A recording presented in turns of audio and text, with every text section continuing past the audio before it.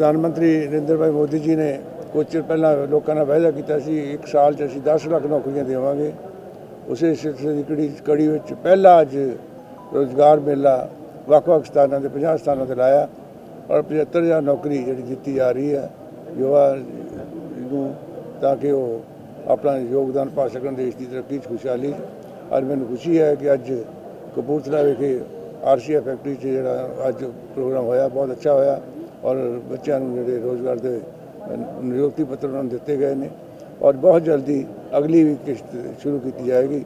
ਔਰ 10 ਲੱਖ ਨੌਕਰੀਆਂ ਦਾ ਜਿਹੜਾ ਵਾਅਦਾ ਸੀ ਕੀਤਾ, ਉਹ ਜਿਵੇਂ ਪ੍ਰਧਾਨ ਮੰਤਰੀ ਨੇ ਕਿਹਾ ਸੀ ਕਿ ਅਸੀਂ ਸਟਾਰਟਅਪ ਦੀ ਵੱਡੀ ਸਕੀਮ ਜਿਹੜੀ ਇੰਡਸਟਰੀ ਡਿਵੈਲਪਮੈਂਟ ਵੱਲੋਂ ਚੱਲਦੀ ਹੈ, ਉਹਦੇ ਵਿੱਚ 80000 ਤੋਂ ਵੱਧ ਸਟਾਰਟਅਪ ਸ਼ੁਰੂ ਹੋ ਚੁੱਕੇ ਨੇ। ਪੀਐਲਆਈ ਸਕੀਮ ਦੇ ਅਧੀਨ ਬਹੁਤ ਸਾਰੀ ਪ੍ਰੋਡਕਸ਼ਨ ਵਧਾਵਾ ਦੇਣ ਲਈ ਔਰ ਤਾਂ ਕਿ ਇੰਪੋਰਟ ਅਸੀਂ ਘੱਟ ਕਰੀਏ, ਇੱਥੇ ਪ੍ਰੋਡਿਊਸ ਵੱਧ ਤੋਂ ਵੱਧ ਹੋਵੇ, ਇਸ ਸਿਲਸਿਲੇ ਨੂੰ ਧਿਆਨ 'ਚ ਰੱਖਦੇ ਹਾਂ ਪੀਐਲਆਈ ਸਕੀਮ ਸ਼ੁਰੂ ਕੀਤੀ ਗਈ ਹੈ।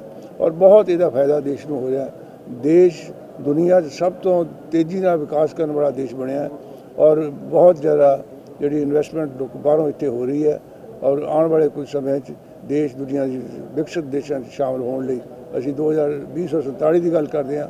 2047 ਤੱਕ ਦੇਸ਼ ਦੁਨੀਆ ਦਾ ਸਭ ਤੋਂ ਤਾਕਤਵਰ ਦੇਸ਼ ਹੋਏਗਾ ਔਰ ਸਭ ਤੋਂ ਵਿਕਸਿਤ ਦੇਸ਼ ਹੋਏਗਾ, ਵਿਸ਼ਵ ਗੁਰੂ ਹੋਏਗਾ, ਇਹ ਅਸੀਂ ਕਾਮਨਾ ਅਸੀਂ ਕਰਦੇ ਹਾਂ ਔਰ ਇਸ ਲਈ ਅਸੀਂ ਯਤਨਸ਼ੀਲ ਹੈ ਔਰ ਇਹਨੂੰ ਕਾਮਯਾਬ ਅਸੀਂ ਹੁੰਦਾ ਦੇਖਾਂਗੇ ਠੀਕ ਹੈ ਹਾਂਜੀ ਹਾਂਜੀ ਹਾਂਜੀ। ਹੁਣ ਪੁੱਛ ਲਈਏ ਸਰ ਹਾਂਜੀ ਪੁੱਛੋ ਜੀ Supreme Court has taken suo moto action against the hate speeches in the country and directed the UP, Delhi and Uttarakhand government to register criminal cases against the culprits. ਦੇਖੋ ਦੇਸ਼ ਦੀ ਏਕਤਾ ਅਖੰਡਤਾ ਸਭ ਤੋਂ ਨੰਬਰ 1 ਤੇ ਹੁੰਦੀ ਹੈ ਉਹਨੂੰ ਸਭ ਤੋਂ ਜ਼ਿਆਦਾ ਧਿਆਨ ਰੱਖਣ ਦੀ ਲੋੜ ਹੈ ਦੇਸ਼ ਕਾਂ ਇੱਕ ਰਹੇ ਇਕੱਠਾ ਰਹੇ ਏਕਤਾ ਨੂੰ ਕੋਈ ਖਤਰਾ ਨਾ ਹੋਵੇ ਕੋਈ ਹੇਟ ਸਪੀਚ ਕਿਸੇ ਦੇ ਕੇਸ ਵੀ ਹੋਵੇ ਉਹ ਮਾੜੀ ਗੱਲ ਹੈ। ਸੁਪਰੀਮ ਕੋਰਟ ਨੇ ਬਹੁਤ ਅੱਛੀ ਅਸੀਂ ਵੈਲਕਮ ਕਰਦੇ ਹਾਂ ਜਿਹੜਾ ਉਹਨਾਂ ਨੇ ਇਹ ਕਿਹਾ ਔਰ ਹੇਟ ਸਪੀਚ ਦੇ ਉੱਤੇ ਐਕਸ਼ਨ ਕਰਨਾ ਚਾਹੀਦਾ। Is it not the failure of the centre of state government ਜੋ ਲਾਂਡ ਆਰਡਰ ਸਟੇਟ ਦਾ ਮਸਲਾ ਤੁਹਾਨੂੰ ਪਤਾ। Law and order BJP BJP ਇੱਕ ਮਿੰਟ। ਬੀਜੇਪੀ ਮੈਂ ਸਾਰੀ ਸਟੇਟ ਇਜ਼ ਇਨ ਯੂਪੀ ਮੈਂ ਸਮਝਦਾ ਮੈਂ ਕਹਿੰਦਾ ਸਟੇਟ ਦਾ ਮਸਲਾ ਜਿੱਥੇ ਤੇ ਵੀ ਸਟੇਟ ਗਵਰਨਮੈਂਟ ਜਿਸ ਵੀ ਪਾਰਟੀ ਦੀ ਹੈ ਉਹਨੂੰ ਇਹ ਤੇ ਐਕਸ਼ਨ ਕਰਨਾ ਚਾਹੀਦਾ। ਸੁਪਰੀਮ ਕੋਰਟ ਨੇ ਸਗੋਂ ਉਹਨਾਂ ਨੂੰ ਰਸਤਾ ਦਿਖਾਇਆ ਔਰ ਉਹਨਾਂ ਦੀ ਜੋ ਉਹਨਾਂ ਦੇ ਫਰਜ਼ ਬਣਦਾ ਉਹ ਜੇ ਤੇ ਦੁਬਿਧਾ ਸੀ ਉਹਨਾਂ ਨੂੰ ਯਾਦ ਕਰਾਇਆ। It's good thing there is unrest in the society ਹੈ ਜੀ? Minority are feeling insecure ਕਿਸ ਗੱਲੇ? ਹੈ ਕਿਸ ਗੱਲ? ਅਨਰੈਸਟ ਹੈ ਜਿਹੜੀ ਜਿਹੜੀ ਮੁਸਲਿਮਸ ਦੂਸਰੇ ਭਾਈਚਾਰੇ ਜਿਹੜੇ ਨੇ ਆਪਣੇ ਆਪ ਨੂੰ ਇਨਸਿਕਿਉਰ ਫੀਲ ਕਰ ਰਹੇ ਨੇ। ਤੇ ਦੇਸ਼ ਦਾ ਸੈਕੂਲਰ ਹੈ ਸੁਪਰੀਮ ਕੋਰਟ ਨੇ ਵੀ ਕਿਹਾ ਕਿ ਸੈਕੂਲਰ ਹੈਗਾ ਸਾਰਿਆਂ ਨੂੰ ਰਹਿਣ ਦਾ ਹੱਕ ਹੈਗਾ। ਇਹ ਤਾਂ ਕਿਸੇ ਨੇ ਗਵਰਨਮੈਂਟ ਹੈ ਸੈਂਟਰ ਗਵਰਨਮੈਂਟ ਤੁਸੀਂ ਯੂ ਆਰ ਇਨ ਪਾਵਰ ਇਹ ਤੁਸੀਂ ਇਹਨੂੰ ਅਨਰੈਸਟ ਨੂੰ ਕਿਉਂ ਨਹੀਂ ਈਜ਼ ਕਰਦੇ? ਲਾਈਕ ਜਿੱਦਾਂ ਯੂਨਾਈਟਿਡ ਸਟੇਟ ਯੂਨਾਈਟਿਡ ਕਿੰਗਡਮ 'ਚ ਉੱਥੇ ਬ੍ਰਹਮੋਸ ਬਣਾਇਆ ਹੋਇਆ ਸਾਰੇ ਜਿਹੜੇ ਰਿਲੀਜੀਅਸ ਹੈਡਸ ਸੀ ਉਹਨਾਂ ਦੀ ਇੱਕ ਮੀਟ ਬਣੀ ਹੋਈ ਹੈ ਇੱਕ ਬੋਡੀ ਬਣੀ ਹੋਈ ਹੈ। ਕੋਈ ਵੀ ਪ੍ਰੋਬਲਮ ਆਂਦੀ ਹੈ ਉਹ ਰਿਲੀਜੀਅਸ ਬੋਡੀ ਉਹਨੂੰ ਸੋਲਵ ਕਰਦੀ ਹੈ ਵਾਈ ਨਾਟ ਇਨ ਇੰਡੀਆ ਤੁਸੀਂ ਅਸੀਂ ਇੰਗਲੈਂਡ ਤੋਂ ਆਜ਼ਾਦੀ ਹੋਇਆ ਨੂੰ ਕਿੰਨੇ ਸਾਲ ਹੋ ਗਏ। ਤੁਸੀਂ ਇੰਗਲੈਂਡ ਦੀਆਂ ਫਿਰ ਗੱਲਾਂ ਨਾ ਕਰੋ। ਆਪਣਾ ਮਾਡਲ। ਆਪਣਾ ਮਾਡਲ ਆਪਣਾ ਇੱਥੇ ਬਣਾਉਣਾ ਚਾਹੀਦਾ। ਹੈ। ਮਾਡਲ ਨੂੰ ਇਹਨੂੰ ਇਹਨੂੰ ਸੁਣੋ, ਮੇਰੀ- ਮੇਰੀ ਬੇਨਤੀ ਸੁਣੋ। How the country can develop ਤੁਸੀਂ- ਬਿਕਮ ਅ ਵਰਲਡ ਲੀਡਰ ਦੇਖੋ ਆਪਾਂ ਤੁਸੀਂ ਸਵਾਲ ਕਰੋ ਮੈਂ ਤੁਸੀਂ ਸਵਾਲ ਕਰੋ ਮੈਨੂੰ ਜਵਾਬ ਦੇਣ ਹਾਂ ਦਿਓ ਪਲੀਜ਼ ਨਾਲ ਮੈਨੂੰ ਗਾਈਡ ਨਾ ਕਰੋ ਹਾਂ, ਤੁਸੀਂ ਨਹੀਂ, ਬੋਲੋ ਇਹ ਨਹੀਂ ਖਾਣਾ ਜੋ ਤੁਸੀਂ ਕਹਿ ਰਹੇ ਹੋ ਮੈਂ ਉਹਦਾ ਜਵਾਬ ਦੇਵਾਂਗਾ ਹਾਂਜੀ ਹਾਂ। ਠੀਕ ਹੈ ਦੇਸ਼ ਸੈਕੂਲਰ ਹੈ ਇਹ ਸੰਵਿਧਾਨ ਦੇ- ਦੇ ਮੁਤਾਬਕ ਚੱਲਦਾ ਸੰਵਿਧਾਨ ਦੇ ਮੁਤਾਬਕ ਚੱਲੇਗਾ ਕਿਸੇ ਨੂੰ ਇਨਸਿਕਿਉਰ ਹੋਣ ਦੀ ਲੋੜ ਨਹੀਂ ਹੈ ਕਿਸੇ ਨੂੰ ਕਿਸੇ ਤੋਂ ਡਰਨ ਦੀ ਲੋੜ ਨਹੀਂ ਕਿਸੇ ਵੀ ਕਮਿਟੀ ਦਾ ਹੋਵੇ ਜਿਹੜਾ ਬੰਦਾ ਗਲਤ ਕੰਮ ਕਰੇਗਾ ਉਹਨੂੰ ਡਰਨ ਦੀ ਲੋੜ ਹੈ ਕੋਈ ਗਲਤ ਕੰਮ ਕਰੇਗਾ ਦੇਸ਼ ਦੀ ਏਕਤਾ ਅਖੰਡਤਾ ਦੇ ਅਗੇਂਸਟ ਕੰਮ ਕਰੇਗਾ ਚਾਹੇ ਕਿਸੇ ਕਮਿਊਨਿਟੀ ਦਾ ਹੋਵੇ ਉਹਨੂੰ ਡਰਨਾ ਚਾਹੀਦਾ ਸ- ਸਰਕਾਰ ਤੋਂ ਹੋਰ ਕਿਸੇ ਨੂੰ ਡਰਨ ਦੀ ਲੋੜ ਨਹੀਂ ਹੈ ਬਹੁਤ ਅੱਛਾ ਇੱਕ ਦੱਸੋ ਪੰਜਾਬ ਤੇ ਆ ਜਾਈਏ radicals are surging their heads in in the Punjab Khalistan ਦੇ slogans are being raised as far as uh, punjab being a border state there is a you can say arms and ammunition drugs are being are being coming to india via uh, through drones central government uh, state state has no machinery state even the ਦੇਖੋ central ਤੁਸੀਂ government has failed state to check ਨਾਲ it. ਹੁਣੇ ਤੁਸੀਂ federal structure ਦੀ ਗੱਲ ਕਰਦੇ ਸੀ ਇਹ federal structure ਹੈ ਫੈ- ਸੁਣ ਲਓ ਮੇਰੀ ਗੱਲ ਨਹੀਂ ਸਰ ਸੁਣ ਮੇਰੀ ਲਓ, ਜਿਹੜੀ ਤੁਸੀਂ ਮੇਰੀ ਮੇਰੀ ਮੇਰਾ ਕੁਐਸਚਨ ਨੂੰ ਪਹਿਲਾਂ ਸਮਝ ਮੈਂ ਲਓ ਤੁਹਾਡਾ- ਫਿਰ ਗੱਲ। ਮੇਰਾ ਕਹਿਣ ਦਾ ਭਾਵ ਹੈ ਕਿ ਜਿਹੜਾ ਇੰਨਾ ਹਥਿਆਰ ਪੰਜਾਬ 'ਚ ਆ ਗਿਆ ਉਹ ਕੋਈ ਸੇਨਰ ਐਲੀਮੈਂਟ ਕੋਲ ਤਾਂ ਆਇਆ ਨਹੀਂਗਾ ਮਾੜੇ ਅੰਸਰਾਂ ਕੋਲ ਹੀ ਆਇਆ ਹੋਊਗਾ। ਤੇ ਇਹਦੇ ਚ ਲਾ ਐਂਡ ਆਰਡਰ ਦੀ ਕੱਲ ਨੂੰ ਪ੍ਰੋਬਲਮ ਆਣੀ ਕੁਛ ਆਣੀ ਹੈ ਇਹਦੇ ਵਿੱਚ ਇਹਨੂੰ ਕਰਬ ਕਰਨ ਦੇ ਲਈ ਸੈਂਟਰ ਕੀ ਹੈਲਪ ਕਰੇਗਾ? ਸੈਂਟਰ ਕਿੱਦਾਂ ਇਹਨੂੰ ਚੈੱਕ ਰੱਖੇਗਾ ਹੁਣ ਤੇ ਸਵਾਲ ਪੂਰਾ ਹੋ ਗਿਆ? ਹਾਂਜੀ। ਹੁਣ ਸੁਣ ਲਿਓ ਫਿਰ ਧਿਆਨ ਨਾਲ ਵਿੱਚ ਨਾ ਬੋਲਿਓ। ਦੇਖੋ ਜਿਹੜਾ ਫੈਡਰਲ ਸਟਰਕਚਰ ਹੈ ਸਟੇਟ ਦੇ ਕਿਆ ਕਿੱਥੇ ਕੰਮ ਕਰਨਾ, ਸੈਂਟਰ ਨੇ ਕਿਹੜਾ ਕੰਮ ਕਰਨਾ law and order sorely state ਦੀ ਜ਼ਿੰਮੇਵਾਰੀ ਹੈ। ਸਟੇਟ ਦੀ ਜ਼ਿੰਮੇਵਾਰੀ ਏਜੰਸੀਆਂ ਨਾਲ ਦਿੱਲੀ ਦੇ ਜਿਹੜੇ ਸੈਂਟਰਲ ਏਜੰਸੀਆਂ, ਉਹਨਾਂ ਦੇ ਨਾਲ ਸਲਾਹ ਨਾਲ ਕੰਮ ਕਰ ਸਕਦੀ ਹੈ। ਔਰ ਡੀਜੀਪੀ ਨੇ ਕੁਝ ਦਿਨ ਪਹਿਲਾਂ ਕਿਹਾ ਵੀ ਅਸੀਂ ਸੈਂਟਰ ਦੀ ਏਜੰਸੀਆਂ ਨਾਲ ਰਲ ਕੇ ਕੰਮ ਕਰਦੇ ਹਾਂ। ਜਿਹੜੀਆਂ ਇਹਨਾਂ 'ਚ ਕੋਈ ਫੜਿਆ ਜਾ ਰਿਹਾ ਸੈਂਟਰਲ ਏਜੰਸੀਆਂ ਦੀ ਸਲਾਹ ਨਾਲੇ ਫੜੇ, ਉਹਨਾਂ ਦੀ ਗਾਈਡੈਂਸ ਨਾਲ ਫੜਿਆ ਜਾ ਰਿਹਾ।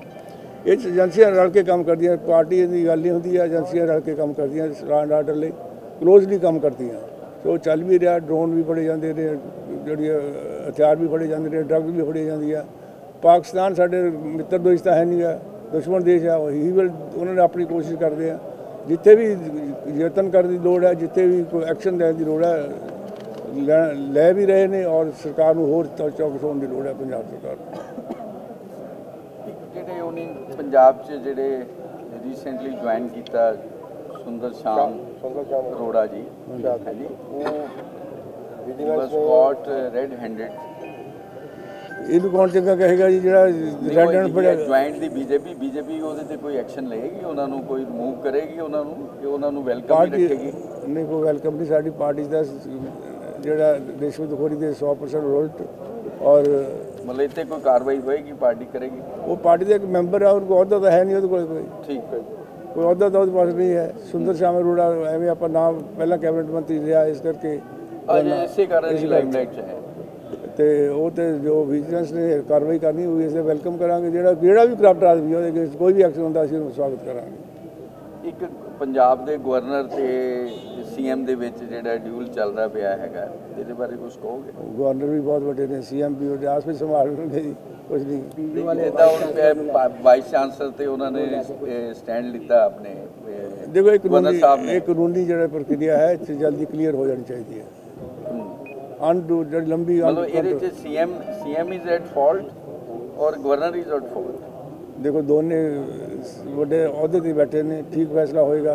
ਕਾਨੂੰਨ ਦੀ ਸਲਾਹ ਲੈ ਲਈ ਜਾਏਗੀ ਸੈਂਟਰ ਗਵਰਨਮੈਂਟ ਵੀ ਗਾਈਡ ਕਰੇਗੀ ਠੀਕ ਫੈਸਲਾ ਹੋਏਗਾ। ਲੋ ਵੇ ਹੁਣ ਬਾਕੀ ਦਾ ਸਰ ਇਹ ਕਪੂਰਥਲਾ ਦਾ ਇੱਕ ਮੈਡੀਕਲ ਕਾਲਜ ਕਾਫੀ ਟਾਈਮ ਤੋਂ ਲਟਕਿਆ ਹੋਇਆ ਉਹਦੇ ਬਾਰੇ ਕੀ ਕਹੋਗੇ? ਦੇਖੋ ਮੈਡੀਕਲ ਕਾਲਜ 'ਚ ਮੈਨੂੰ ਖੁਸ਼ੀ ਹੈ ਕਿ ਜਦੋਂ ਸਕੀਮ ਆਈ ਸੀ ਜ਼ਿਲ੍ਹਿਆਂ 'ਚ 75 ਮੈਡੀਕਲ ਕਾਲਜ ਖੋਲ੍ਹਣੇ ਸੀ ਮੈਂ ਦੋ ਸੈਂਕਸ਼ਨ ਕਰਾਈ ਸੀ ਹੁਸ਼ਿਆਰਪੁਰ ਲਈ ਇੱਕ ਕਪੂਰਥਲੇ ਲਈ।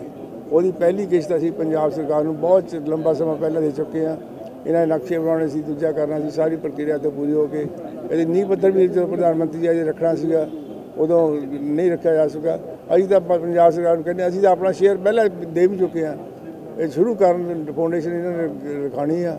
ਦੇਖ, ਜਲਦੀ ਰੱਖੀ ਜਾਏਗੀ। ਨੈਗਲੀਜੈਂਸੀ ਹੈ ਗਵਰਨਮੈਂਟ ਦੀ, ਪੰਜਾਬ ਗਵਰਨਮੈਂਟ ਕਾਦੀ ਨੈਗਲੈਂਸੀ ਕਿ ਉਹ ਆਪਣਾ ਸ਼ੇਅਰ ਨਹੀਂ ਦੇ ਰਹੀ ਜਾਂ ਸ਼ੁਰੂ ਨਹੀਂ ਕਰਵਾ ਪਾ ਰਹੀ। ਸ਼ੁਰੂ ਜਲਦੀ ਕਰਾਉਣਾ ਚਾਹੀਦਾ ਹੈ? ਮੈਂ ਤਾਂ ਕਿਹਾ ਵੀ ਉਹਨਾਂ ਨੂੰ ਔਰ ਜਲਦੀ ਇਹਦਾ ਫਾਊਂਡੇਸ਼ਨ ਸਟੋਨ ਰੱਖ ਕੇ ਜਲਦੀ ਸ਼ੁਰੂ ਕਰਨਾ ਚਾਹੀਦਾ ਹੈ। ਠੀਕ ਹੈ ਸਰ। ਲੇਕਿਨ ਉਹ ਉਹ ਜਿਹੜਾ ਹਸਪੀਟਲ ਬਣਿਆ ਸੀ ਉਹਦੀ ਜਿਹੜੀ ਦੀਵਾਰ ਹੋਈ ਸੀ ਉੱਤੇ 35 ਅ, 36 ਲੱਖ ਰੁਪਏ ਲੱਗਾ ਸੀ।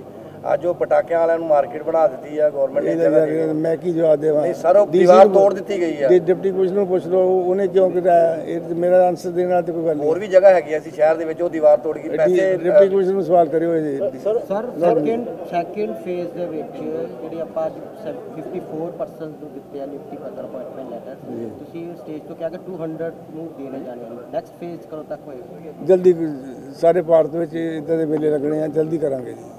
ਉਹ ਯਾਰ ਨੇ ਹਰੀ ਸਾਲ ਚ 10 ਲੱਖ ਨੂੰ ਨੌਕਰੀ ਦੇਣੀ ਹੈ। ਇਸ ਸਾਲ ਦੇ ਕੰਪਲੀਟ ਹਾਂ। ਪ੍ਰਧਾਨ ਮੰਤਰੀ ਜਿਹੜਾ ਕੋਈ ਟਾਰਗੇਟ ਫਿਕਸ ਕਰ ਰਹੇ ਉਹਨੂੰ ਸਟ੍ਰਿਕਟਲੀ ਫੋਲੋ ਕਰਦੇ ਆ।